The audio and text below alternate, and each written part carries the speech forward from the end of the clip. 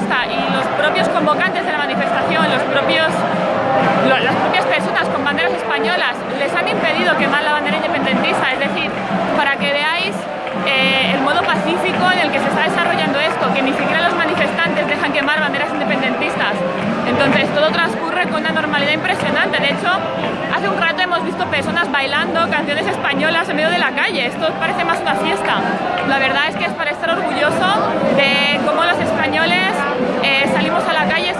banderas y, y somos muchísimo más pacíficos.